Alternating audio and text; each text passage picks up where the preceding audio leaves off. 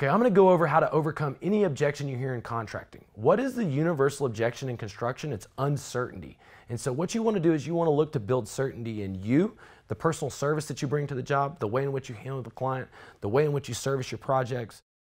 Okay, I want you to talk about your company, the longevity of them being in business, their track record of success, their case studies, what differentiate them, any accolades or partnerships with material, and your process. Exactly what do you do to deliver? What separates you in actual delivery? How do you actually uh, do things in a way that nobody else does?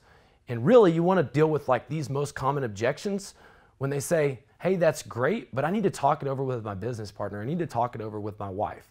Okay, really what you want to do with this is you want to find out if there's somebody else in the buying process really early on in the deal. So what that means is, is that you ask them, like in that probing phase when you're asking questions, hey, do you have somebody that's going to be making this decision or are you in charge of this is, is, is there going to be somebody else or are you the bottom line are you the guy that is the buck stop with you and most of the time if you've got somebody that's a decision maker he takes ownership of that right then and if he takes ownership of it right then then later on in the cell, you can say i thought you said that the buck stops with you and so another thing that you can do is you can say, well, what if they tell you no? Would you do it anyways? I mean, I got that one from Grant Cardone and it really works.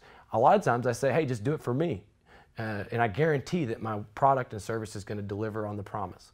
So, what I really do, okay, whenever you talk about the main thing is, you know, make them take ownership of the decision early on in the process and, you know, really find out, you know, what it is that that business partner is or wife is holding them back for. And so, in that second layer of questioning, I would say, well, what do you think your wife would say?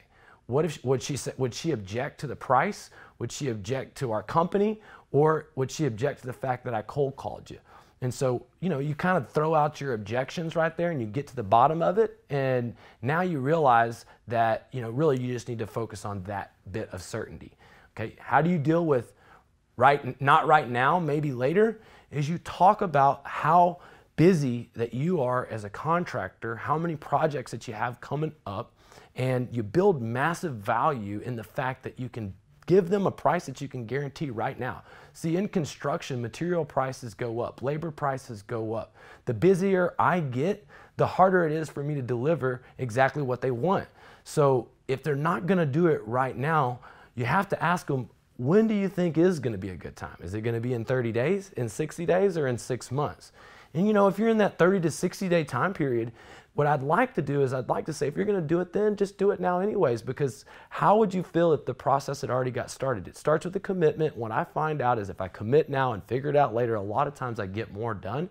And I really want to see you get this problem accomplished. I want to get you see, see you get this problem solved. So it's really going to cost you more money because you got two choices. You can continue doing what you've done up to this point and getting the same results, or you can try the program that we've used for all these past years with proven results and you can get an immediate solution to your problem. Okay, that's how you talk to them about that. How do you deal with your prices too high? Now, you know, price is too high is just a complaint. And when you're talking about your price is too high, you really have to find out if you're comparing apples to apples, oranges to oranges, because everything in construction is based on a scope of loss. So, you know, really what you want to do is you want to get that customer to get that other proposal in front of them so that maybe you're not talking about the price that you want to look at. You just want to see if we're really comparing apples to apples, oranges to oranges. That's the first step. The second step is really to build value in the security and the professionalism and the guarantee of your company because there's so many risky contractors out there. You just think about, you know, what can happen if there's not the right insurance? What can happen if the job takes longer than expected? And you really have to kind of prioritize with them if they're looking for an efficient, fast product, if they want the best materials, if they want the best labor, if they have all these like buying questions that they're asking specifically about your product. That's when you know that your price is justified, that your value is there.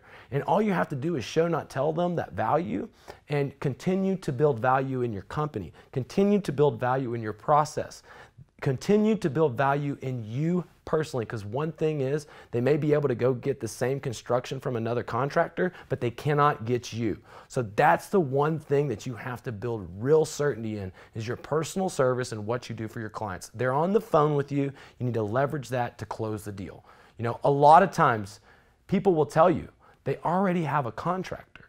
And you have to tell them that you completely understand. You know, that's pretty much what everybody tells me. What I want to do is spend some time with you, and most people find out when they spend time with me that they get a lot more of the contractor that they already have. You know, they get a better line of questions for material, for labor. They might even get a better price. So if you just spend a little time with me going through my solution, I guarantee you you're going to get a better, better deal with your contractor. And then what you want to do is you want to talk about how you differentiate yourself. How, what's different about how you do business? And then talk about an immediate service and really, you know, talk about the risk of someone that's not as specialized as you. Selling is telling, closing is logic. And somebody who is not interested has not identified with the pain point. You have not asked enough questions. You have not shown them the problem. And they, have to have a problem before they have a solution, and you have to have their attention. And you know, you might just ask them flat out, do you believe anything that's coming out of my mouth? You know, if you do not have their attention, one thing that'll do is that'll get them paying attention to you. And you can ask them right off the bat, you know, do you think this is not worth your time? And, you know, what happens if this happens? Would, would, would that really hurt you? Now they may be listening to you. You can get some interest. You can build some sense of urgency. You build the sense of urgency with your emotion, and then you close with logic. That's how you overcome any objection in contracting, okay? But really going back to the first thing, it's about building certainty. It's about identifying their biggest pain point and going back to building certainty in you, your company, and your process. That's how you overcome any objection in contracting.